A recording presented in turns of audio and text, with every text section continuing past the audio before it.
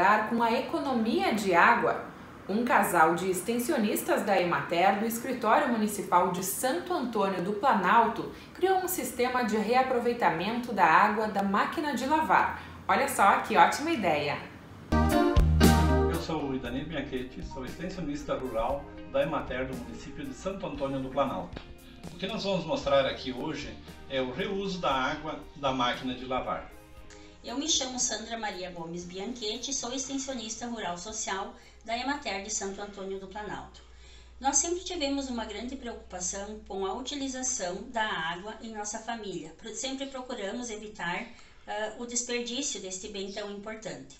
Pensando então na reutilização da água da máquina, que normalmente vai fora em todas as residências, e essa água pode ser utilizada para a realização de lavagem de calçadas, calçados, também pode ser utilizada para molhar as plantas, desde que muitas vezes, dependendo do produto que a gente use, não seja jogada diretamente nas folhas. É que a gente pensou uh, nessa forma de utilização.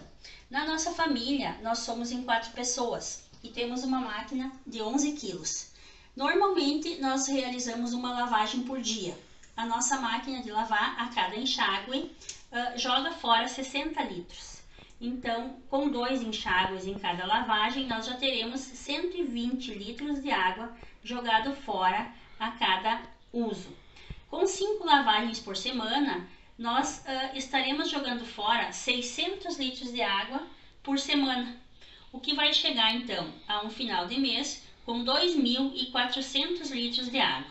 Independente do custo que essa água tenha no seu município, que cada um ah, normalmente tem uma tabela, né? Importante ressaltar que toda essa água pode ser economizada. Ah, nesse período agora que nós tivemos uma grande estiagem, ah, sempre lavamos as calçadas utilizando então essa água que é a água de reuso, né? Ela foi reutilizada para realizar então a limpeza dessas calçadas. Também já vou aproveitar para mostrar para vocês que aqui nós estamos utilizando então uh, cestos de uh, freezer que foi uh, descartado, né, como cesto de roupa. Isso também otimiza o espaço, já que não tem que ficar com nenhum cesto no chão.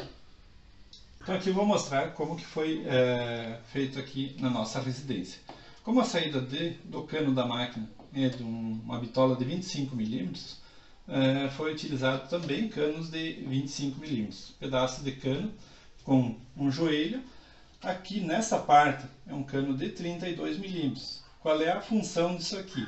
Isso aqui eu, te, eu posso, é, no caso aqui, tirar a água e jogar fora, se for no caso da água suja, a água mais suja, ou até mesmo para utilização dessa água pra, para outros fins. Um exemplo assim como lavar os calçados aqui no tanque. É, colocando aqui, a água vai lá para a bambona para ser é, depositada, para ser armazenada. Ah, seguindo aqui, então, com um cano de 25 milímetros, foi utilizado um T com uma saída para dentro do tanque. A finalidade disso aqui é que a partir do momento que é, a bambona estiver cheia de água, ela vai trancar e então a água passa a sair por aqui. Uh, isso é importante para que a partir do momento que a bombona estiver cheia não fique vazando pela área de serviço. A água vindo lá da máquina, ela vai entrar aqui na bombona através desse cano flexível e com uma entrada de é, canos com joelhos de 32 milímetros. Entrando na bambona, então aqui foi feita uma montagem de uma espécie de boia, que a partir do momento que a água chegar nesse nível aqui, onde está a minha mão, ele vai trancar a entrada da água. Trancando a entrada da água, é, essa água que vem da máquina vai sair lá no tanque. Então não tem o perigo de é, vazamento ou encher a bambona e vazar.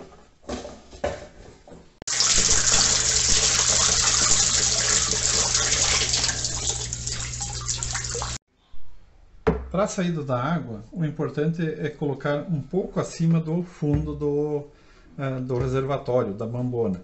Isso serve para que no fundo sejam depositados uh, sujeiras ou materiais pesados para não sair junto. Então pode ser depois na limpeza da bambona esses materiais serem retirados.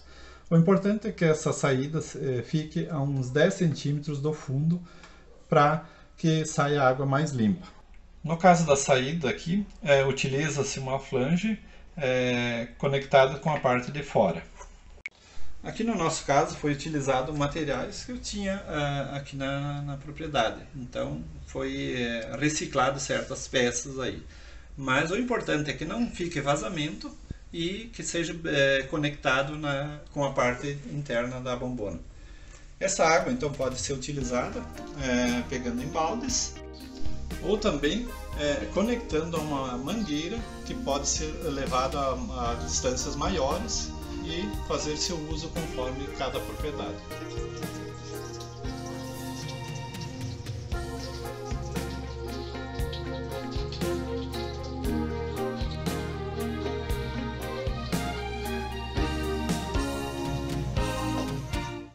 Nós já voltamos.